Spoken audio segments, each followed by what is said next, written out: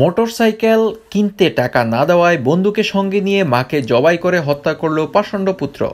সুনামগঞ্জের দোয়ারাবাজার উপজেলার মান্নারগাঁও ইউনিয়নের জালালপুর গ্রামে গত সোমবার সন্ধ্যায় এই মর্মস্পর্শী ঘটনা ঘটে। খুনিপুত্র জাহাঙ্গীরকে দোয়ারাবাজার থানার পুলিশ গ্রেপ্তার করে জিজ্ঞাসাবাদ করছে। হতভাগ্য মায়ের ময়নাতদন্ত গত মঙ্গলবার বিকেলে সুনামগঞ্জ সদর হাসপাতালে সম্পন্ন হয়েছে। পুলিশ ও স্থানীয় লোকজন জানান, জামালপুর গ্রামের স্বামী পরিত্যক্ত আফিয়া বেগমের দুই ছেলে। এক ছেলে ঢাকায় চাকরি করে, অন্য ছেলে বাড়িতে থাকে। স্বামীর সঙ্গে বিচ্ছেদ হওয়ার পর আফিয়া দুই বছর ওমানে এবং পরে আরও দুই বছর সৌদি আরবে গিয়ে শ্রমিকের কাজ করেন। সম্প্রতি দেশে ফিরে তিনি বাড়িতে একটি পাকা ঘর নির্মাণ করেছিলেন। এর মধ্যেই ছেলে জাহাঙ্গীর বায়না ধরে তাকে মোটরসাইকেল কিনে দিতে হবে।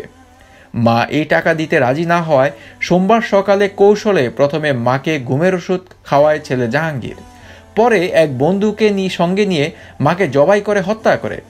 মাকে হত্যার পর ঘরের দরজা বাইরে থেকে বন্ধ করে জাহাঙ্গীর সুনামগঞ্জ শহরে চলে আসে।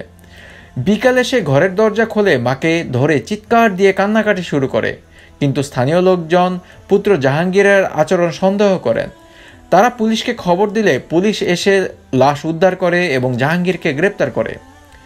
দোয়ারাবাজার থানার ওসি সুশীল রঞ্জন দাস বলেন, জাহাঙ্গীর মোটরসাইকেলের টাকা না দেওয়ায় মাকে খুন করার কথা স্বীকার করেছে। তার সঙ্গে ছাতক থানা এলাকার এক বন্ধু সহযোগিতা করেছে। তাকে গ্রেপ্তারের চেষ্টা করা হচ্ছে। জাহাঙ্গীরের ভাই সন্ধ্যায় এসে মামলা দায়ের করবে। পরে জাহাঙ্গীরকে আদালতে সোপর্দ করা হবে। সবার আগে সর্বশেষ সংবাদ পেতে নিউজ এ টোয়েন্টি ফোর চ্যানেলটি সাবস্ক্রাইব করে বেল আইকনে ক্লিক করে রাখুন। ধন্যবাদ।